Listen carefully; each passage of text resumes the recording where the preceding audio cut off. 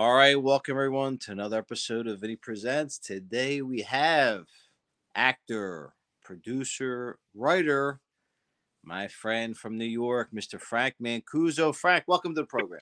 Good morning, and thank you for having me. I appreciate it. It's a pleasure. It's a pleasure. It's uh, something that I'm really was really looking forward to all week, and I can't wait to let all the guests know about all your wonderful adventures but Frank, let's get started first and foremost. Tell everybody where you're from and how you got started in the business. All right, I'm uh I live here in Queens, but I'm originally from upstate New York, and I came down uh, to New York in 1983 to pursue my dream of uh, becoming an actor. Um, well, you know, trying to struggle as an actor like everybody else. I worked uh, a couple jobs. One of them was uh, doing security at Madison Square Garden. Yankee Stadium, Shea Stadium back in the day. Uh, it allowed me a lot of flexibility to do what I was doing. And then uh, acting really didn't pan out for a while. So then I uh, got into law enforcement. Uh, I was a court officer with the Mount Vernon Police Department. Then I worked for the NYPD uh, as an evidence and property specialist. And then I became a deputy uh, deputy sheriff in the city of New York. And then basically, once I retired, I decided to get back into it full time. But the only problem was, uh, you know, I lost a lot of touch with a lot of the old contacts and agents and stuff. So the only kind of work I was getting was um, predominantly just background work. And uh, I met my buddy Chris uh, Adams on the set of Elementary, who had a script called Blue Iron. And I said, why don't we produce this ourselves? And basically that, you know, led into everything else. And we just started uh, making our own projects. And then between me and him, we just started writing a lot of projects, and currently I'm up to 15 screenplays. Beautiful, beautiful, man. Listen, I I um, love watching all your posts. By the way, right for all our guests, make sure you're following Frank. He's on their Calabrian Kid on Instagram, and uh, you'll you'll see all of his posts. Now, let's dial it back just a little bit because you did do security and you were around. You did help protect a lot of famous people, including Telly Savalas, right? Um, was it Sinatra too? Tell us, tell some of the famous people that you, you helped protect. Um, yes, basically, um, pretty much because of the contacts that I made uh, working at the Garden, Shea Stadium stuff.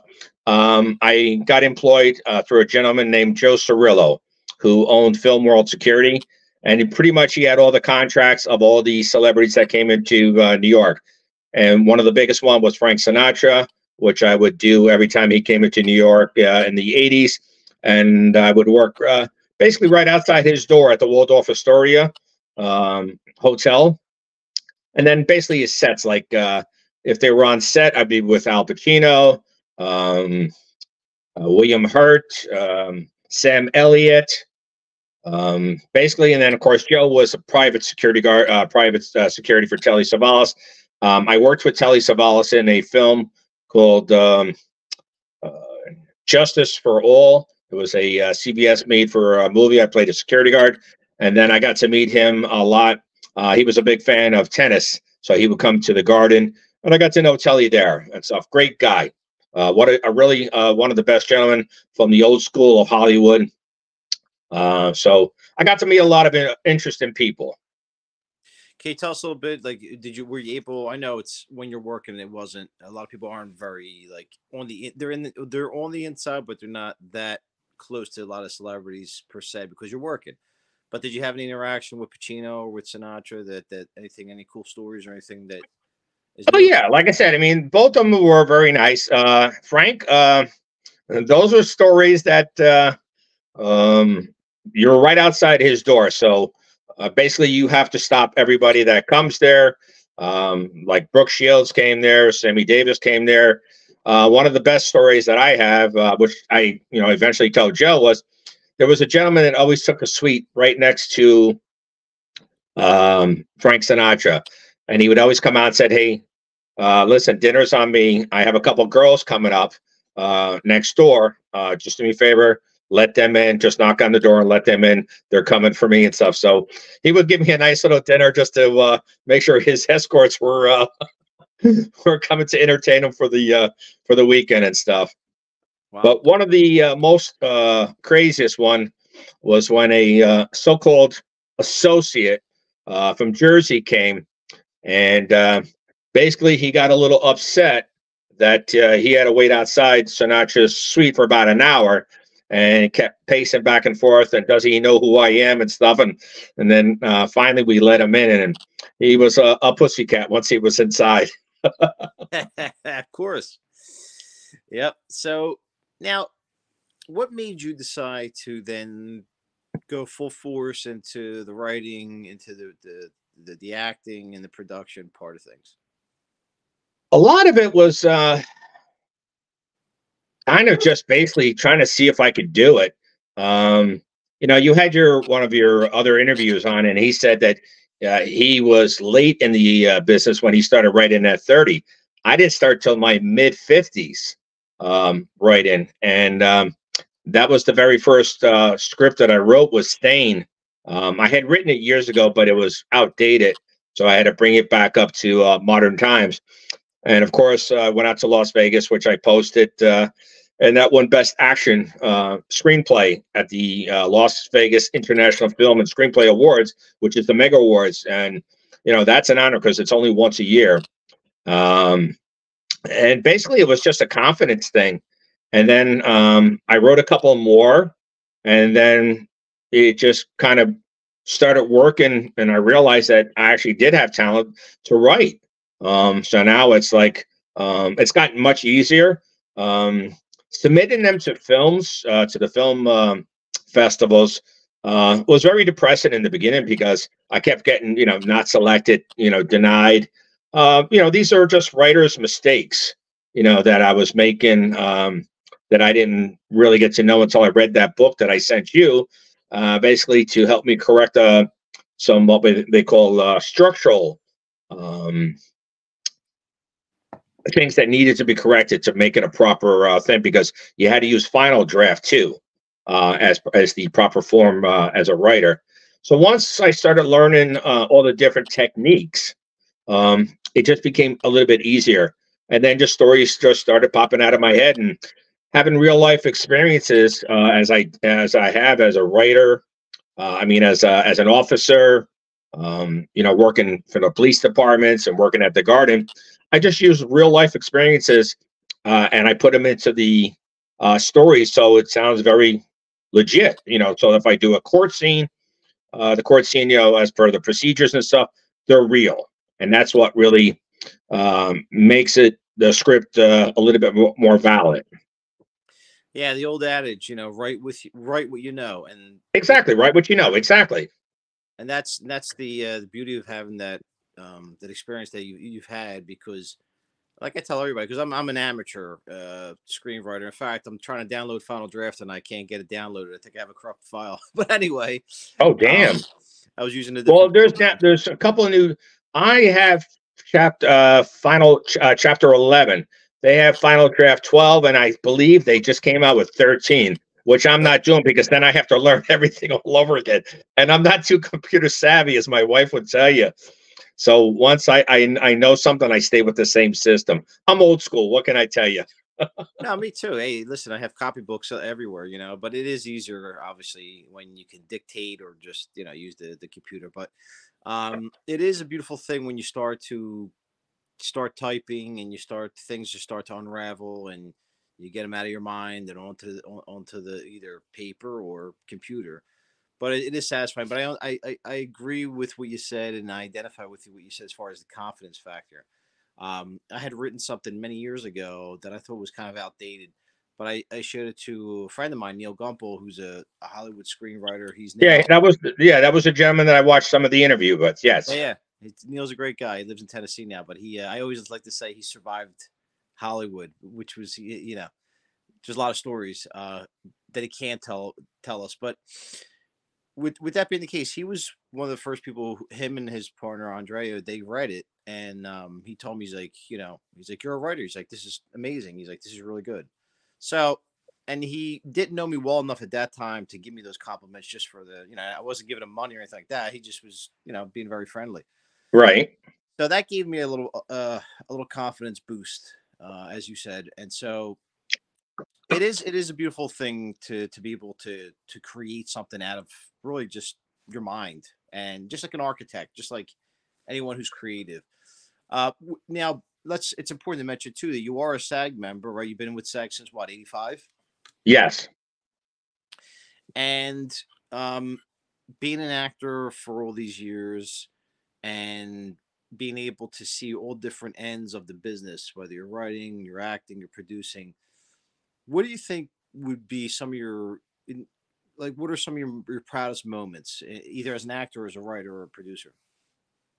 Well um as an actor just getting to work with certain people. I mean some of the people like when i worked on gotham with uh, ben mckenzie and lonnie um pure gentlemen pure professionals um certain other people you know like i i've worked with a lot of people as you could see that when i posted you know joe Gannascoli from the sopranos i've worked with um, you know, Telly Savalas, you know, which was an honor for me. Um, you know, I've been in, uh, you know, different movies, Prizzi's Honor with uh, Jack Nicholson, a couple other, but like I said, um, just different things. I've been on soap operas, you know, I'm always just a character actor, which is fine. You know, sometimes a small role, one line, sometimes just more featured and stuff, which is fine. But uh, uh, the idea, what for me, the most proudest moment was um, learning the process uh, on blue iron. Um, I had to, you know, you got to wear multiple hats uh, as you're as you're learning yourself now. Uh, when you're a producer, you have to worry about everything uh, from the beginning, from the casting to locations, catering, um, props. Um, you know all these uh, locations that you have to set up for all these different things, and getting all getting all the people there at the same time, and making sure that you know things are rehearsed and stuff like that. Um and then just the whole completion of it and then into post production um and then you know setting up the premieres and and stuff. That was a, a really hard but enjoyable learning process for me because you, you took a project basically from paper and you put it onto film so when you do that that's like um, that's an accomplishment itself whether you know uh, successful or not. The idea is that taking something from you know a, a, piece of paper and pen and putting it up on the screen and seeing it, you know, that's awesome, man. You know, it's you just learn so much because then you kind of appreciate um, all the steps that you have to do. I mean, these are hours and hours, and you know, plus I had to travel down to um, your your part of the town down in Philly and into Trenton, New Jersey, where we filmed all this. You know, so we had to, uh, you know, spend a lot of time down there, stay away from family. You know, uh, spend a couple of nights down there. You know, filming locations, uh, dealing with problems on set. You know, stuff like that. It's it's a learning process. You know, legal stuff, uh, trying to get uh, you know uh, securing locations, and um, you know, just making sure everybody was there. So it, it's a it's being a producer it was much harder than I thought, you know, because you have to be there every day to make sure from the beginning to end that everything is done. And that also making sure that the um, shots that you shot were completed, um, making sure that there's continuity. Um, you know, because I then I started like also taking pictures of everybody with my, you know, with my own phone of everybody what they were wearing to make sure that you know for continuity that said okay you were wearing this you were wearing this you know, things that you know how you always watch in a movie say, oh wait, he, he had a he had a pink jacket on, or he had a you know a different kind of jacket on, or he had a pink tie, and people notice those things. So you you, be, you become very conscious of those type of uh, things as as a first time producer. Yeah, it's funny how you you do notice those little things, you know, and, and that's why it's it, it's important uh, continuity, script supervision. There's a lot of things that oh man, there's so many things that go into it. And I'm just getting my feet wet with my buddy Sal as far as being a producer and for our project that's coming up. But man, you're right. You know, all the different policy and legalities and and you got to you know organization, the whole organization of it. There's so many moving parts, but oh yeah, well that's that, that that's the thing that like when you're an actor, you basically say, okay, I'm here. You know, where do you want me to sit? You sit down over there. You're learning your lines, and then you call me when you need me when you're the producer, you're you know you're running basically that chicken without a head because you're making sure that this shot is set up. What's next? You know what what do we need? um, you know, so and so is not there. Hey, you know that uh, that picture was moved. You moved it. You got to put it back. You know, a whole bunch of different things. So it, it's so each each time you do a new film, you've gotten better at it, but you have to you, you kind of now more focus your mind on the on the small little things than the whole project itself because those little things could screw things up. Because a couple times we, we were like, Oh, did you guys do the close up? No. Oh, wait, you didn't do the reverse shots? No. We're like, oh man. So yeah, and sometimes you need to bring people back. Yes. One of the things I will definitely tell you as a secret um, that we learned on audio was definitely uh, on our third film because we after the first and second films, something called ADR. After each scene, at the end of the day, put everybody in a room, nice and quiet, put the mic in the middle, and have everybody do their lines. So this way, if there's any mistake or any uh, noise background that you hear on your while you're filming, you can clean it up through ADR because you re-recorded it um, uh, you know, nice and quiet. So this way you have a nice clean cut. That's one of the tips of the day. I like that. Yeah, it's a good. That's a really good idea. I know we were discussing like the um I forget what it's called, but you can you can actually when you do a scene you can actually view it as it's as you know as you as you finish. Yeah, yeah. So like I said, if you if you want, like I said, uh, after you're done filming, make sure the actor repeats the same dialogue the same way he did in the scene. Because if I say you know, hey Vinny, you know, what about this? But if it was, yo, Vinny, what the fuck? You know, with the same enthusiasm. So you have to say, oh, I apologize. But uh, basically, you have to say the same thing with the same tone and the same manner. Right. So that's one of the things that, uh, again, as a as a producer, you're learning all these little tricks that will help you later on uh, later on during the uh, what we call post production part of the uh, of the uh, production because when you're putting it together, you want a nice clear audio sound. Right, right, right. Now, the the good news is too that you are in New York. That's you know one of the hot, hottest places to be involved in in the uh, the movie industry. Of course, second maybe Hollywood. So, is there a lot? I'm sure there's a lot more opportunity now. Obviously, after COVID and everything, things slowed down. But now, is the city bustling with different projects? Yeah, they're starting to pick up. Actually, they were filming Blue Bloods uh, not too far from the house. Uh, they're picking up. Um, I just started going back on Actors Access. Started looking to see myself if there's any work for me. Of course, I don't do background work. Um, so if any actor or casting directors are looking for a big Italian guy, here I am. Uh, I'm available here in New York. Um, but uh, I don't know. Right now, like I said, I'm trying more focused on uh, doing my own projects. Uh, like I said, I have two scripts uh, that we definitely want to do: the Vagrant and the Sicilians.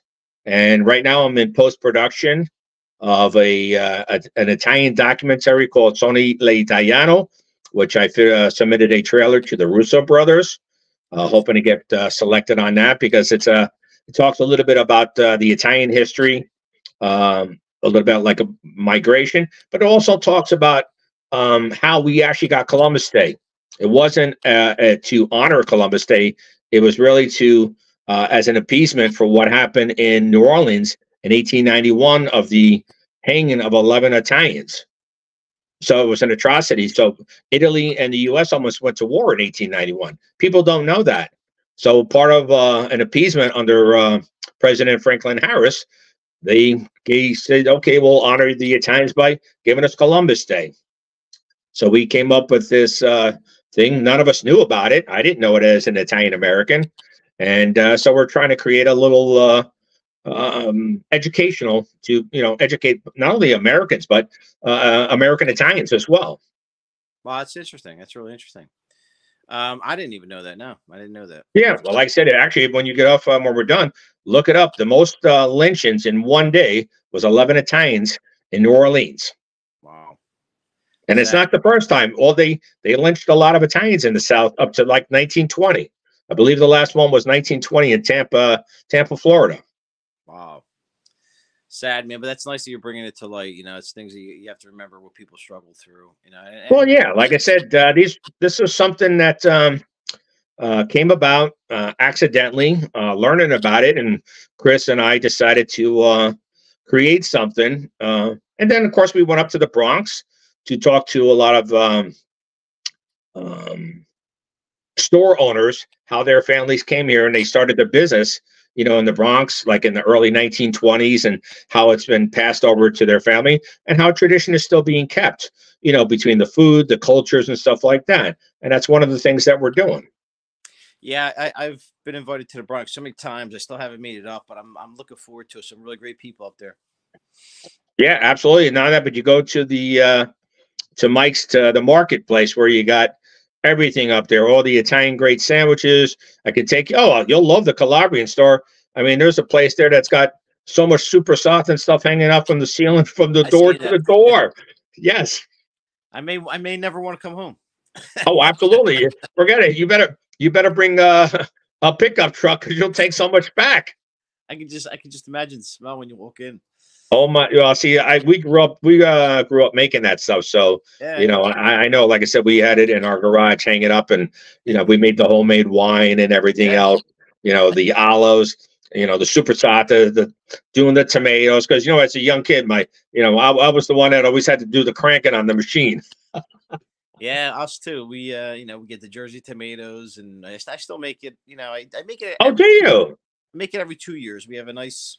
Uh, there's a nice farm uh, owned by Italians in, in South Jersey and Vineland, and the tomatoes are huge. You know, they're beautiful. Oh yeah, very. And it's all it's they're perfect. They're like um, all pulp. You know, they're just yep meaty. There's a there's actually a tomato. I mean, we're getting off track here, but there's a tomato that's really really good that I encourage everybody to look into. It's called Soldaki, S O L D A uh, ki and it's really like they're they look like the size of like grapefruits and they're very meaty they're just awesome to make uh, sauce or gravy as we call it here but oh really? we got a conflict because it's only sauce touch you know where gravy actually i got another thing for you. When you get done you google why it's called it's sauce and why you know how you got gravy? Do you know how and why? The meat pro- probably i don't know. No no back when the italians came over and they were trying to uh, assimilate with the Americans. The Americans would invite invite them over and said, "Come on over to our house and have some turkey and gravy." So the Italians, in order to explain to them, they said, "Well, come on over and try our gravy, and you have it with pasta and our meat." But that's it's uh, gravy is what we call a second or third generation term that was used to assimilate if you actually you can Google that up, and that's a fact as well, because it's been sourced. It's always been sourced because it comes from zucchero, which is from uh, you know the uh, tomatoes and stuff. That's that's really cool. You know, I listen. I um, come on. What kind of calabrese are you that you don't know this stuff? This I, is your history. Well, they used to my. I, I, you know, I don't even know how they did that. Like, I, I, it's not like it's really widespread. I think it's mostly like South Jersey, maybe Philly. I don't really know of any other town that calls it gravy. It is kind of strange. I call I call it both. I call it sauce. Like I'll say I made gravy sauce. is brown gravy that you put on meat. Sauce is sauce because there's meat in it to cook it, but it's always red. Find me a jar that says when you buy uh, at the store, it always says a jar of sauce. It doesn't say gravy. you're right. Hey, listen, you're right. I you know, and it's the funny thing is too. If I if I were if I wasn't from Philly, I'd probably be like, "What the hell are they talking about?" yes, you would. Yeah, but actually, if you look it up, um, it was basically an association to um, uh, Italian Americans to assimilate to American culture, and that's how the best way they could explain to uh, the Americans, like you know, you come over and you know you can try some of ours, and it was just a term that was easier because you, you kept saying sauce. They were like, "What sauce?" You know, it's red sauce. They were saying, "Oh, but uh, how about you? You you know what That's gravy? Oh yeah, I'll try your gravy." And that's how it turned out. like a red gravy, yeah. Yes, exactly. That's pretty cool. I um, I, I but I share a lot of the same passions. The homemade wine, the stuff. It's it's it's it's it's uh you know it's stuff that you got you got to keep the traditions going. Oh, um, absolutely. Now, now, now going back to entertainment though, because now you you're making me hungry with all this talk. Oh, okay. going back to entertainment. So what what are you uh, uh, what are you looking to achieve in the next five ten years? Oh, basically, wow, that's that's a good one. Um, basically, to just be a an accomplished independent filmmaker. Um, I love um, learning from the beginning to the end. I also like to um, look out for people. That our our thing is that if we can, you know, like none of us, we got no one really said, hey, you know, here, hey kid, here's a break. I, I'm the one that believes in giving people a chance. You know, someone's we said, you know what, you got the look. You know, you want to be an actor and stuff, or you know, have you done much? But let me tell you, I found people like when we I explained last time that uh, we had people cast and they dropped out the night before, and we got other people. They were ten times better than the people that I cast. So I believe in giving people opportunities and Yeah. stuff, giving them their, their break um, because it was something I never got. So uh, I- you know, I'm I'm old school. You know, give people a chance, and I just like I, I want to be able to do my own productions. Um, basically, take care of uh, or, um, people that I know, people who've been loyal, and just our own thing, and then just try to you know just be recognized as a uh, as, as an Italian filmmaker, you know, you know, or an American filmmaker, just to uh, as an independent, made it on my own. You know, like as Sinatra would say, I did it my way. You know, I can't beat Hollywood. I can't uh, be a part of Hollywood, but you know what? Doesn't say I still can't follow my dream. Well, on the flip side too, Frank, I don't think there's ever been a better time, and I'm being a little bit repetitive, but there's never been a better time to do it yourself. I mean, there's so much technology, there's so much uh, streaming and different companies out there looking for material that I don't think there's ever been a better time to create your own. Oh yeah, and that's one of the things that uh, has basically been helpful for us is that I've been able to get three of my projects on uh, Film Hub.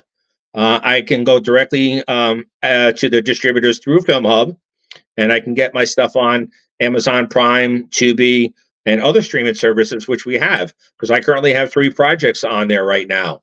I have uh, the uh, Blue Iron, Shift, and the Devil's Playground, which is currently playing on um, YouTube right now. It's uh, one of our third uh, short horror films. Uh, you know, urban legend type uh, kid stories and stuff. But it's given me a direct access to the distributors without paying the big bucks and you know hiring an agent and paying twenty five thousand for them to promote it. I can do it myself now. Yeah, it's amazing. It really is amazing. It really is. You never had. We've never had so much control or power, like in the in the independent uh, filmmakers' hands. Well, And also, and I was going to say for you as well, don't forget about the um, film festivals. Right. And you can promote yourself through the film festivals and and uh, do what I said. Um, basically, like I said, if you want to submit to certain film festivals, always uh, send a request asking for a discount code and tell them you're new that you want to submit to your festival. Uh, hey, do you guys offer a discount code? Most of them will, and it's great because it, especially us uh, independent filmmakers, it's coming out of our out of our pocket. Our budget's not high, and definitely trying to get some exposure will definitely help your project. Yeah, that's a good. That's a very good point. Um, Frank, well, listen, we're going to wrap, wrap it up soon, but where can we find you? I know we got you on Instagram as the Calabrian Kid. Anywhere else? You're Uh, on yeah, on I'm on Twitter uh, under Blue Iron, and of course Frank Mancuso on Facebook. Pretty much that's it. and then if we go to Calabria, Oh, well, if you want, you can also- find you. you- You can also find me on IMDb page. you can see all the stuff that I've done there, and uh, let's see where else. Uh, Actors Access. I'm also on Actors Access. So I have a few uh, ways you can reach out to me and stuff. Oh, I'm also on um, LinkedIn, and I'm also on Inktip. Beautiful. Well, of course, we'll make sure we we add the links in the description box. So, friends, make sure you please you follow Frank and support all of his work. We're going to um, wrap it up, but I want to just encourage you also, please, if you haven't already, subscribe to my channel right here, Vinny Presents. For those that are listening, please make sure you follow us, continue to follow us. And Frank, it's been a pleasure. I can't wait to be with you again. We we worked on a project together. That's how I met you. And I can tell you were aces, not just because you're Calabrese, but also because you're a good man. But you are a great man, Frank, and you're a great actor and, and obviously writer and producer. So I wish you a lot of luck in, in the future, and I hope uh, we, our, our paths will cross again real soon. Absolutely. Thank you very much for having me. I appreciate it. My pleasure. Friends, again, thank you, and we'll see you next time. Ciao.